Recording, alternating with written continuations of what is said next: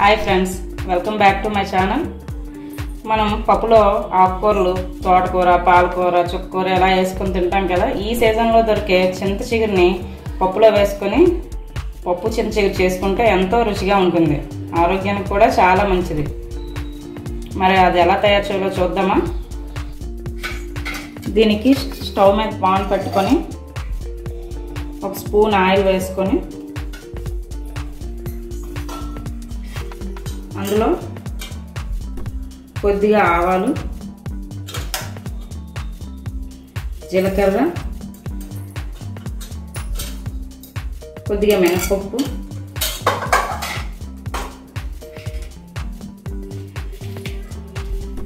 రెండు ఎండుమిర్చి ఇలా కట్ చేసుకొని వేసుకోండి.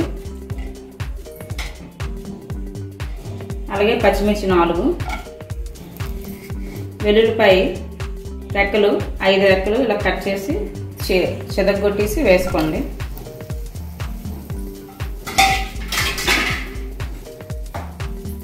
అలాగే కరివేపాకు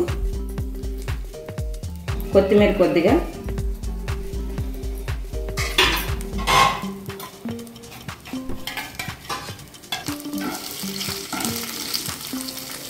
ఇది కొద్దిగా వేగినంత వరకు వేగనివ్వండి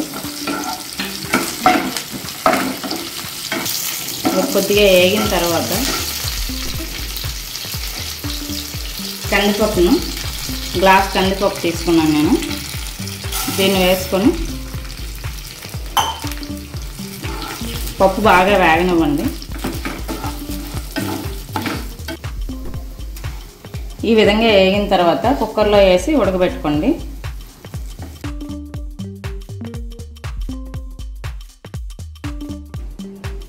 ఇలా కుక్కర్లో వేసుకొని ఈ గ్లాస్తో రెండు గ్లాసులు నెయ్యి వేసుకోండి.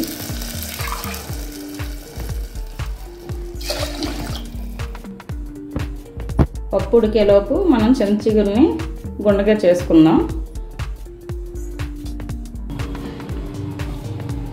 చింతచిగురిని ఇలాగా గుండలా చేసుకోండి.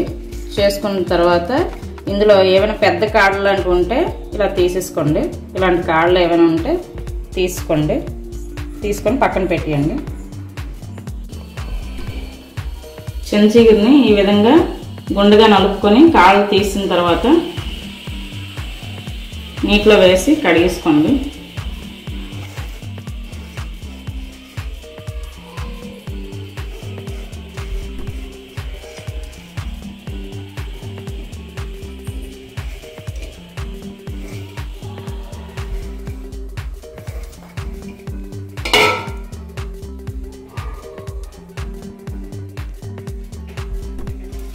ఇలా వడకట్టేసుకోండి కడిగేసిన తర్వాత ఈ విధంగా వడకట్టింది. ప్లేట్లోకి తీసుకోండి.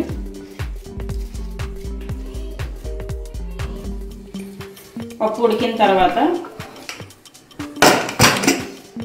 తీసుకొని ఇది కొద్దిగా మెదక్కోండి మెత్తగా అయినంత వరకు.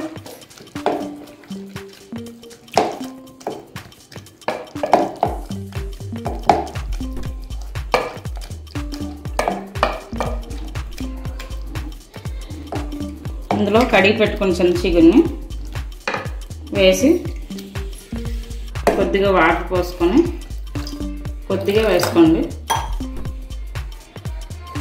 వేసుకున్న తర్వాత స్టవ్ మీద పెట్టుకొని పసుపు చిటికడు కారం ఒక స్పూన్ వేసుకోండి.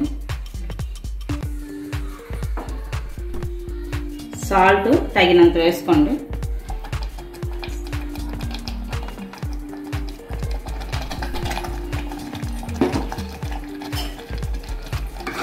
దీన్ని ఒక ఐదు నిమిషాలు ఉడకబెట్టుకోండి.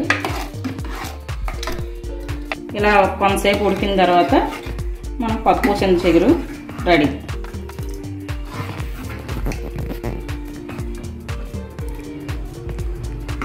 మీకు ఈ వీడియో కానీ నచ్చినట్టయితే లైక్ చేయండి షేర్ చేయండి కామెంట్ పెట్టండి.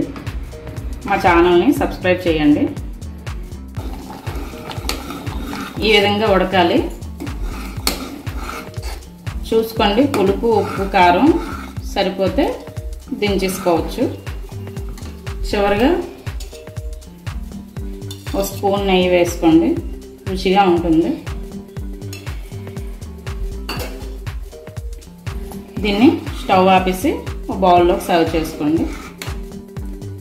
ఇది చల్లారిపోతే చిక్కగా అవుతుంది. ఇది చిక్కగా ఉంటేనే చాలా రుచిగా ఉంటుంది.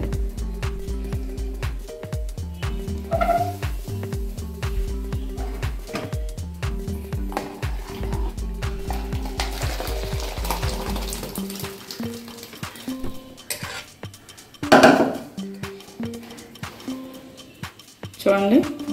ఎంత చక్కగా వచ్చిందో పప్పు చింతచిగురు. మీరు ట్రై చేస్తారు కదా.